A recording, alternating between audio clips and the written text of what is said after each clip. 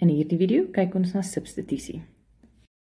Substitusie beteken vervanging en ons gaan kyk hoe ons veranderlikes met spesifieke waardes kan vervang. As dit gegee word dat a gelyk is aan 2 en b gelyk aan -3, bepaal die waarde van elkeen van die volgende uitdrukkings. In a het ons 2a plus 3b. Maar ons is gegee dat die waarde van A eintlik 2 en die waarde van B minus 3 is. Dus kan ons die waarde van die uitdrukking bepaal as ons A en B met hierdie getalle vervang. Wanneer jy substitusie doen, is dit baie belangrik om hakkies te gebruik. So ek begin deur die uitdrukking oor te skryf, maar in die plek van die veranderlikes skryf ek hakkies. Die hakies help dat jy nie onnodige tekenfoute maak nie.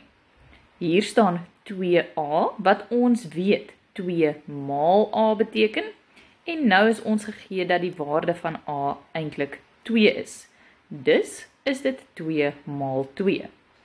Daarby moet ons 3b tel en 3b is 3 maal b en b se waarde is -3. En nou dat ons substitusie gedoen het of vervang het, kan ons die finale waarde bepaal. 2 maal 2 is 4 en plus 3 maal minus 3 is minus 9. 4 minus 9 gee 'n waarde van minus 5. In B het ons nou 4a minus b en weer gaan ek begin deur waar daar 'n veranderlike is, 'n hakkie te skryf. Nou kan ek in A se plek 2 skryf en in B se plek minus 3. En nou kan ons vereenvoudig. 4 maal 2 is 8 en die tweede hakkie is daar omdat ons twee tekens by dieselfde term het. 'n Minus maal 'n minus word dan 'n plus 3 en 8 plus 3 is 11. In C begin ek met myselfde stap deur waar daar 'n veranderlike is, 'n hakkie te skryf. En hier is dit belangrik om te besef dat die eksponente buite daardie hakkies val. So nou het ek b tot die mag 2 wat beteken ek het -3 tot die mag 2 plus b tot die mag 3 wat -3 tot die mag 3 is. Wanneer ek nou -3 kwadreer, beteken dit ek het 'n minus maal 'n minus en dit word dan plus 9. En wanneer ek dan nou 'n minus tot die mag 3 het, eindig ek weer met 'n negatiewe waarde. En 3 tot die mag 3 is 27. 9 minus 27 is dan minus 18. In D is daar nou reeds 'n hakkie in hierdie uitdrukking, maar steeds is my eerste stap om oral waar daar veranderlikes is, hakkies te skryf. So in die plek van die voorste A het ek 'n hakkie en binne in my groot hakkie het ek twee veranderlikes en dus nog twee hakkies. A se waarde is 2 en B se waarde -3. En nou kan ek vereenvoudig.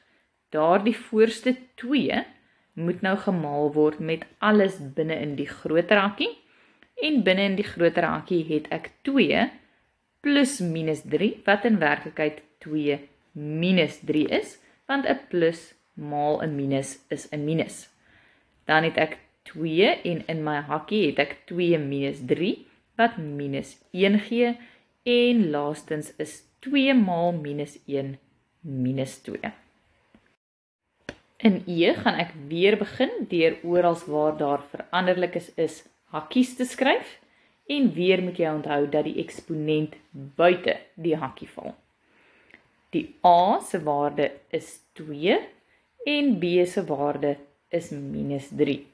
Met die vereenvoudiging van 'n vierkantswortel is dit belangrik om te onthou om altyd eers binne in die vierkantswortel te vereenvoudig. Daar het ons 8 maal 2 wat 16 is en dan -3 se kwadraat wat +9 is. Steeds kan ek binne in die vierkantswortel verder vereenvoudig en 16 9 is 25 en laastens die vierkantswortel van 25 is 5. Substitusie word gereeld gebruik in wetenskap en finansiële wiskunde waar daar vir jou spesifieke waardes of bedrae gegee word en jy dit kan invervang in die formule om 'n ander waarde te bereken.